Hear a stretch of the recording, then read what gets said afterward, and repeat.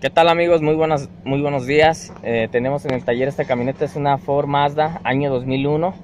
Es igualita a la Ranger.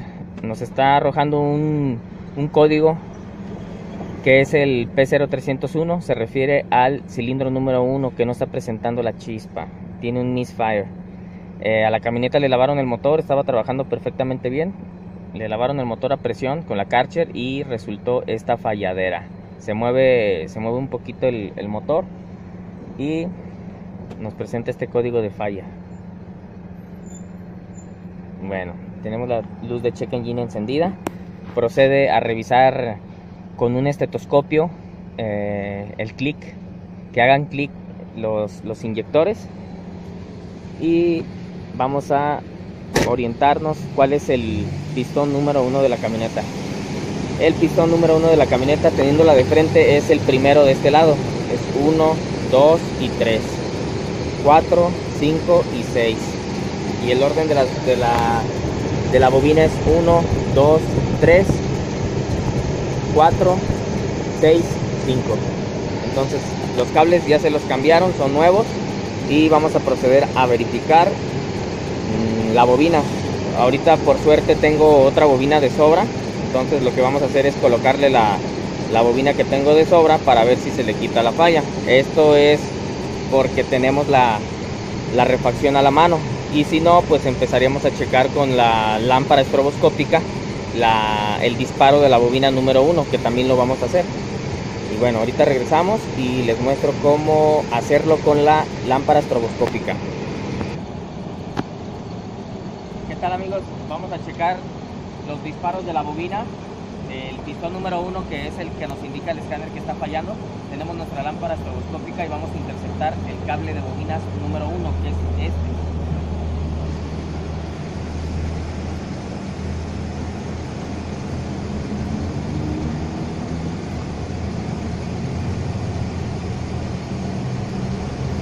No tenemos ninguna luz, lo cual indica que esa torre de esa bobina no está trabajando.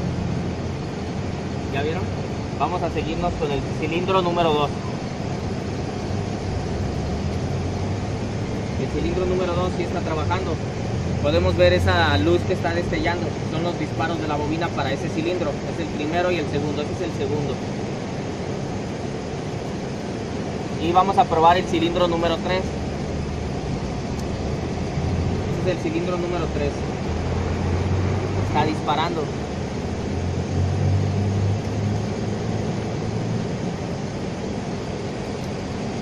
Es el cilindro número 4. Acuérdense que este tipo de bobinas nos están nos, nos está disparando por, por, cilindros por cilindros pares. El 1 con el 4, el 2 con el 5 y el 3 con el 6. Entonces la, la torre número 6 o la bujía número 6 el cable de la bujía de la sexta bujía no está trabajando tampoco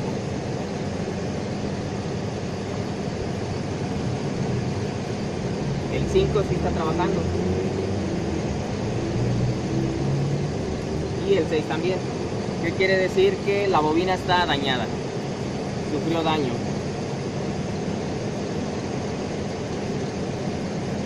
ahí vemos cómo está cómo está disparando la, la, bobina. Pero en el 1 y en el 4 no están disparando. Este es el 4 y este es el 1. Y no están disparando. Bueno, vamos, ¿a qué procede? Vamos a instalar la bobina que tengo de sobra en el motor y el motor debe de emparejarse y debe de desaparecer el código de falla. Bueno, regresamos amigos.